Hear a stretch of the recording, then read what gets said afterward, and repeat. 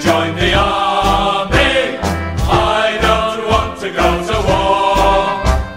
I'd rather hang around Piccadilly Underground, living off the earnings of a high-born lady. I don't want to burn it up.